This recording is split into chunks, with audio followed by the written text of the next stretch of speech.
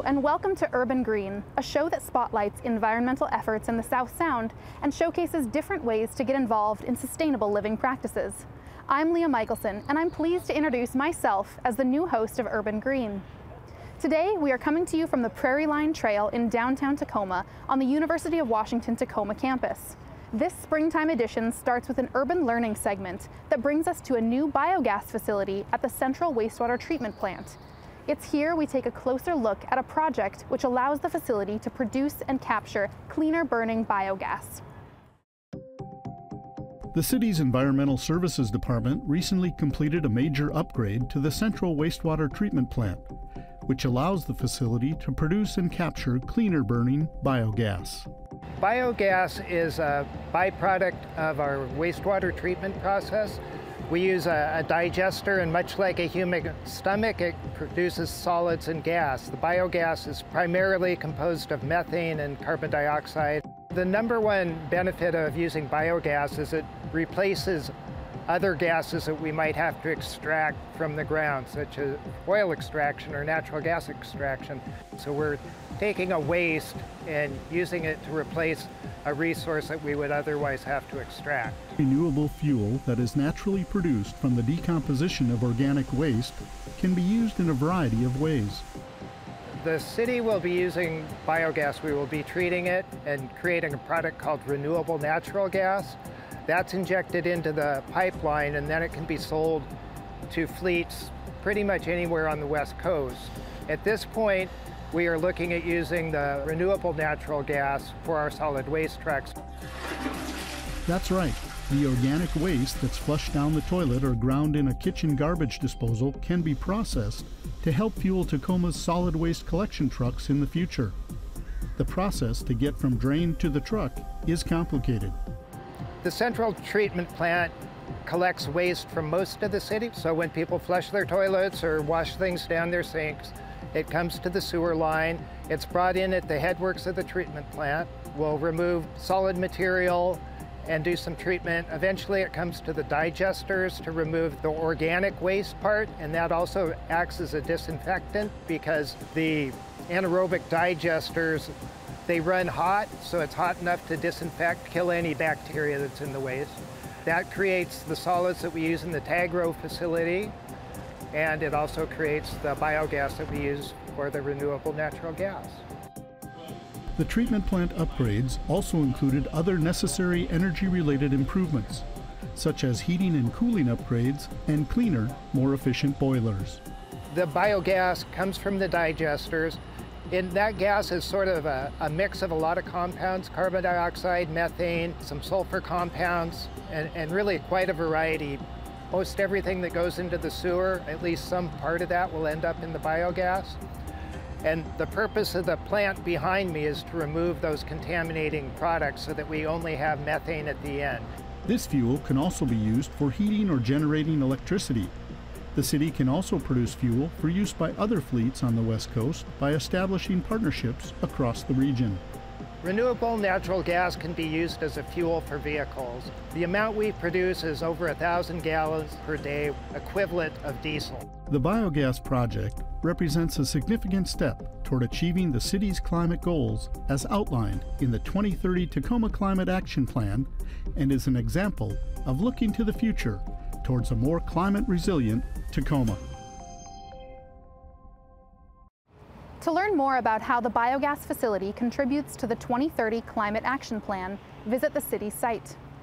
Up next, the Urban Tabletop segment will take us to Stanford's Steak. It's here we get a demonstration of a brand new item from their spring menu.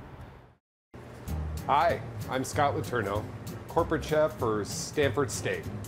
Today I'm going to walk you through one of our signature items, which will be our lobster tail and grilled filet. We're going to start out by taking this all the way from its whole state uh, tenderloin, and we're going to cut that down into six ounce fillets. This is our 1855 filet mignon, which is an upper two thirds of choice. So what that means is that upper two thirds is choice is a very broad uh, grade Uh, that upper two thirds gets you as close to you can as prime without kind of getting all of those prime prices uh, that you have to incur. So what I'm gonna do here is I'm just gonna trim off this chain. I'm gonna take off some of the excess fat. And I'm gonna trim off this silver skin that you see on top, uh, which is not very palatable. I'm gonna go ahead and set this to the side. I can trim up that. There's some good meat on there that can be put into other dishes. I'm gonna remove this silver skin off the top. I'm gonna slide that knife as tight to the silver skin as possible without removing any meat, all the way down the line. You want to really minimize as much meat as you take off here. You're just trying to take off that just that top portion.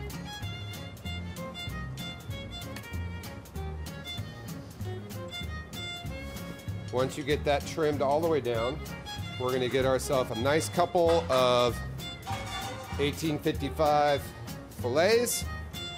I'm going to trim off just the end of this so we get a nice center cut piece that shows up really well on the plate.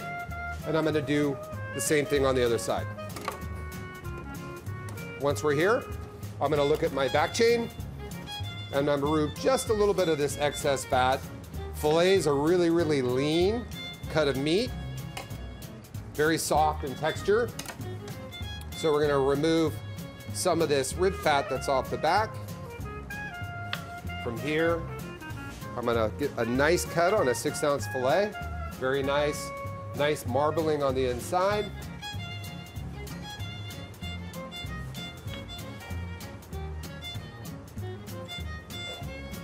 I'm gonna trim that down.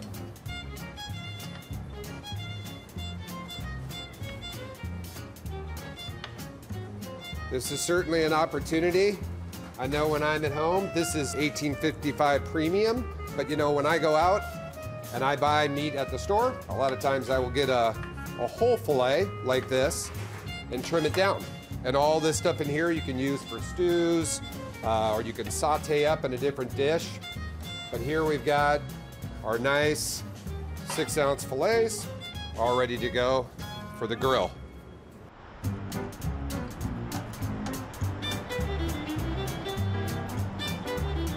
All right, our next step will be with our lobster tail. What you want to do when you're cutting through this shell, pretty easy. You can just use household scissors to cut through. You're going to start right underneath the shell, and you're going to slide that blade as close to the top of the shell as you can, putting pressure at the top. So you just cut through the top of the shell. You want to cut through that last little segment that's right there in the back. I'm flip the lobster over, and you'll see that the lobster's got little ribs that run down the back of it. All you need to do is just take your scissors, get the, one of those ribs and just twist and break that rib. Just like that. That's gonna allow it to do is separate out and let you remove the meat really easily. I'm gonna get two fingers underneath the meat, pull that meat all the way to the top of the shell, and just lay that right on top of it. What I'll do is that'll cook down on the shell. We want to make sure it's cleaned out and there's no waste in there. But that looks fantastic, ready to go for the pan. All right, one final step before we get this into the oven. I'm gonna place a little bit of chicken sauce stock in the bottom of this pan. What this is gonna do, it's gonna allow that pan to have a little bit of moisture so it doesn't dry the lobster out. And also, I'm gonna base the top of that with a little bit of clarified butter. Once that's finished, I'll spread out the tail just a little bit so when it's finished cooking, it'll have a great presentation straight into the oven.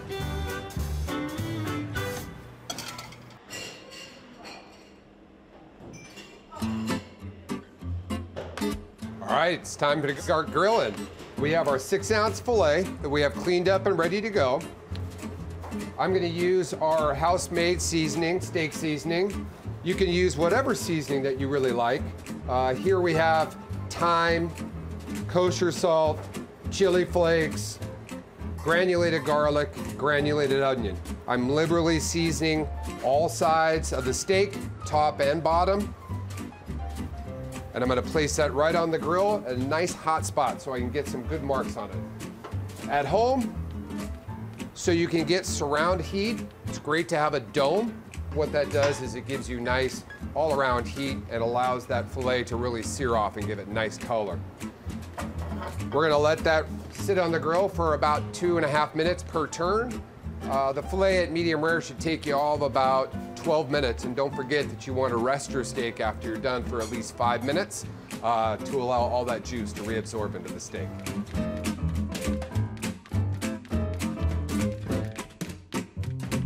Now that our steak is rested for five minutes, we're ready to plate. We have our nice six ounce filet that's been resting. So that juice is all reabsorbed into that meat. We have a wonderful looking lobster's tail. As you can see, it's not over curled, uh, not overcooked. Our tail is fanned out nicely. We're gonna plate that, pointing in the opposite direction. Now with this, you can serve it with your favorite veg or your starch. With the surf and turf at uh, Stanford Steaks, we serve ours with our lime basmati rice. So I have house-made lime basmati rice, which we're gonna pile up. I'm keeping everything inside the rim, nice and clean. And then I've chosen to do uh, some nice grilled asparagus. I just took these on the grill, brushed them with a little bit of oil, your favorite seasoning, so you get a little bit of char marks on there. And we're gonna finish off our plate with a little bit of drawn butter or clarified butter. You're just gonna melt down your butter. It's gonna separate a little bit, and you wanna just remove that butter from the top that's clear. Therefore, you're getting the best sauce that's not gonna interfere with your lobster in any way. I've roasted off a little uh, garlic clove here and just put a little rosemary sprig in the middle of it, just to kind of get fancy. And then I have a blistered lemon. What I've done is I've just taken that lemon, I put it on the grill just to create a little bit of char. It's gonna caramelize off some of the sugars in the lemon. Goes wonderfully on top of the lobster. Little angle on top of your rice. We have our surf and turf. Clean up our rim a little bit. And we're ready to go.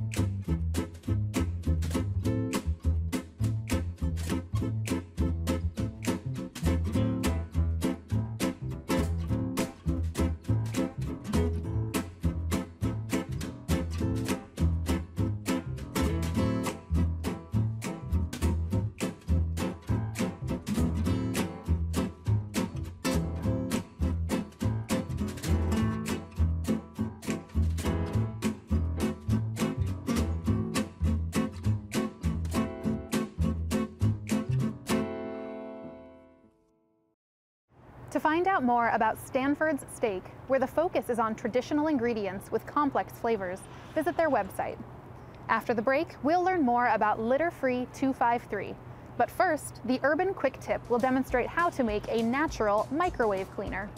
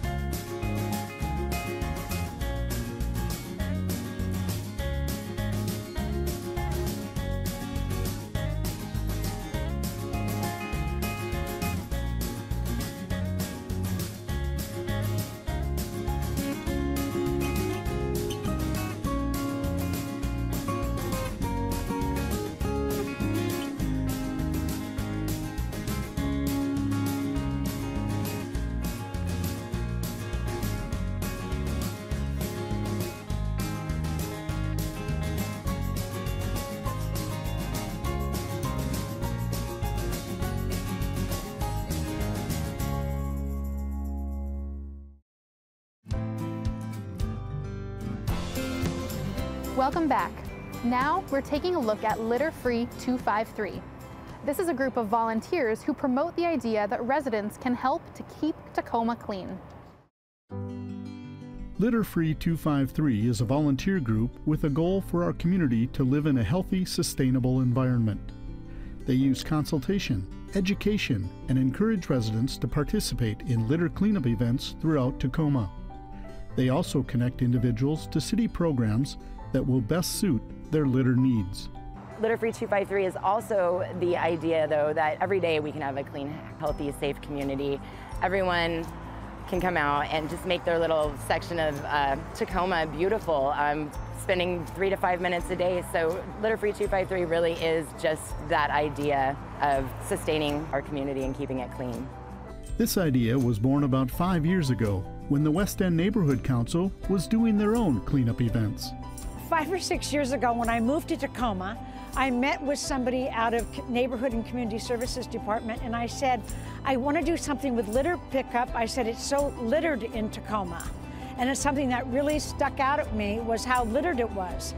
And so I met other people interested in keeping their neighborhoods clean. And we planted the seed and got support from Mayor Woodard for the first citywide cleanup. Now, three years later, this group holds an annual citywide litter event in celebration of Earth Month. They also work to support a number of other cleanup events throughout the year. Litter Free 253 consults with many different groups around the city that pick up litter regularly. Many people have adopted spots. We work with groups in safe streets and participating in litter cleanups. We also recently have started uh, something called a pop-up cleanup, which all of the neighborhood councils are involved with. We have regular cleanups in Blueberry Park, Larchmont neighborhoods, all across the city. There are also tips for community members interested in doing an independent cleanup in their neighborhood. Picking up litter is kind of like housework. It's never done. So I think the first thing everyone can do is keep the, their curb in front of their home clean, as well as their sidewalk. If you take a walk with your dog or take a walk with a friend, take along a little bag and a, and a glove or a litter grabber and pick up litter along your route. And if you visit one of our beautiful metro parks, help pick up the litter. The staff cannot, by themselves, keep our parks as clean as we would like them to be. Getting involved with Litter Free 253 is as easy as reaching out for more information. Well, the first step would be is to reach out and contact us either through the Litter Free 253 Facebook page or you can email us at litterfree253 at gmail.com. We'll be happy to answer your questions. Maybe you have a team ready to go and you just need supplies. We can connect you to the appropriate city services to get your supplies or Metro Parks for their chip in program. So just shoot us an email. We're happy to help.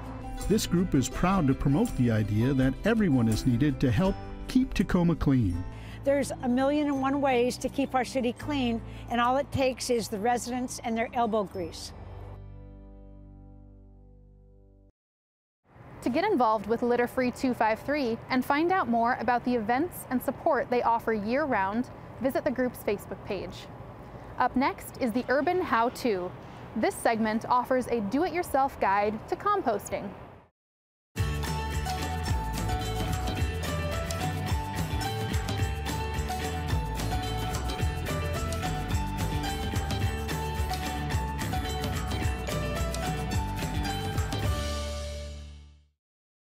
Hi, I'm John with the Enviro Challenger program, and we're here at the Enviro House today to save this compost bin and talk a little bit about how composting works.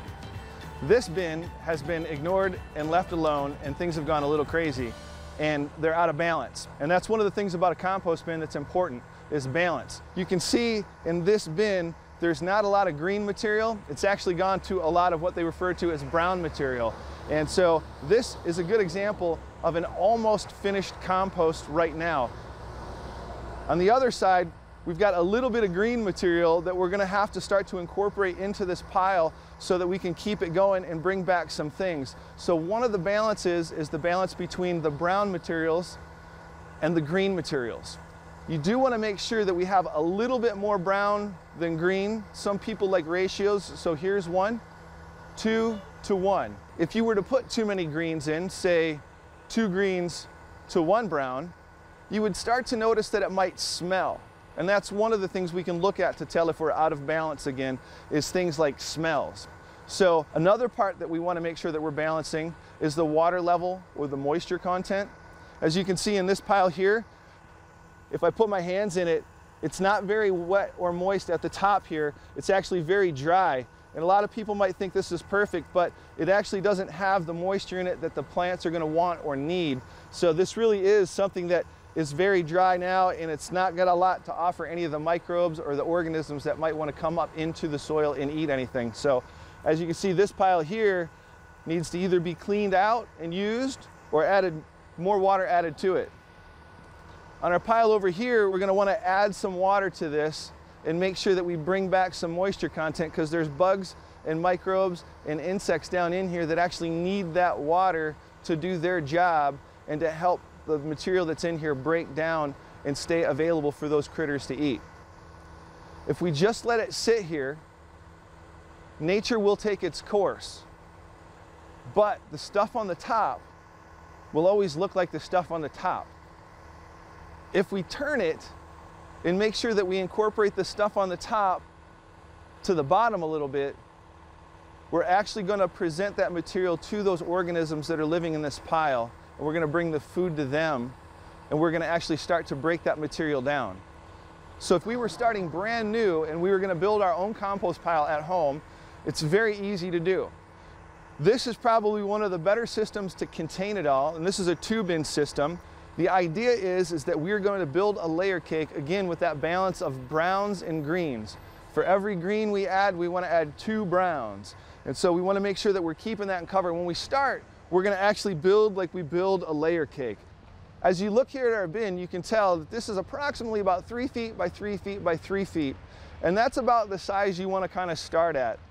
You can start a little bit smaller, but at this size, we have actually kind of an optimum size in order to get the breakdown uh, and this, the materials that we need for all the heat to create that we're kind of going to want to have. Once we have our layer cake built up, one of the cool things about the two bin system is that I can slide over here if it's empty and I can start building this pile right here because you're not going to stop eating, you're not going to stop working on the yard, you're going to continue to have green materials and brown materials that you want to break down we can actually start the pile here. And while I'm building this pile, I can come back to this pile, get my trusty pitchfork out, and go ahead and lift and turn, lift and turn.